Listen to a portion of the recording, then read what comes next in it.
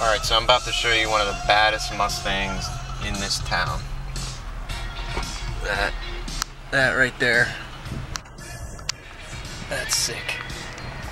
See, the reason he needs that wing is when, you know, when he's going 150, it's it can hold the ass end down and, you know, you can get a lot of control. You know, the car ain't gonna go out of control.